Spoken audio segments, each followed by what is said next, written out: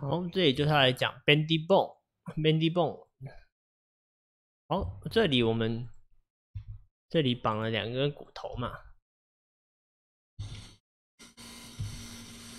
这里大家其实可能没有感觉它们差别在哪里，但其实这里写到 bendy bone，它才有才有办法看到 bendy bone 的一些小细节。好，bendy bone 这里大家可能这里切过来后骨头都很胖，这里是 Ctrl Alt Z，它骨头成这样，我们可以按 Ctrl Alt S，Ctrl Alt S，我们把它缩小。这里我们可以 High Key 把它再放回右边，Ctrl Alt S 可以缩放我们的 bendy bone，我们把它缩小。好，这里的话这两个都是 stretch bone。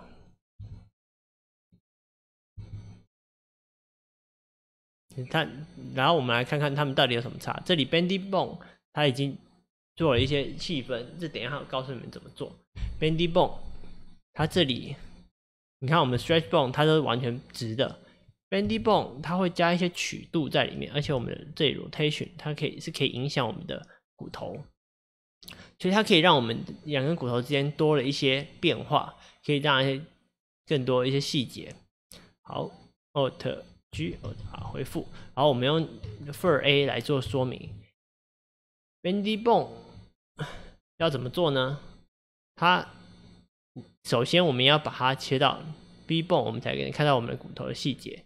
再选到单根骨头，这里它下面这里有一个叫 Bendy bone，我们可以给它骨头的细分。像这个我们目前结束就有四节，我们就给它四节就好。然后我们要做 stretch 一样，我们在这里 constraint 我们一样给它 stretch to，告诉它根部是谁，for a end，and for a end。好，这样我们 G 就基本的伸缩。好，再来就是它这里我们旋转没有作用啊，一样在 bendy bone 的这个参数底下，它会告诉我说我们要告诉它头尾个别是谁。所以我们这里就是 A 的尾巴 end，跟 A 的。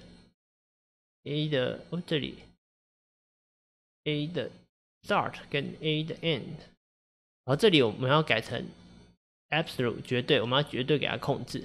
这个时候这样的话 rotate 它才会接受到。所以像是这样，我们看只要用这样子一样两个控制器，我们就可以做出比较多的控制。不然其实另一种方式，我们就变成是头毛，我们可以就做成两根骨头两节，来增加骨头的变化。像我们这样。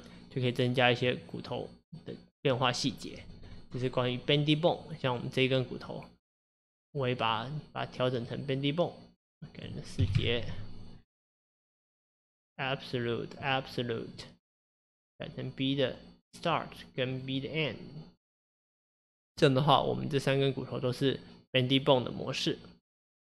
当然，这里显示是这样啦，我们可以一样就可以把 bendy bone 把它关掉，切回来。它一样是有 bendy bone 的效果，只是我们会看不到我们的骨头，比较对于理解上会比较不清楚它到底发生了什么事。好，这就是关于 bendy bone 拿来做我们的头毛。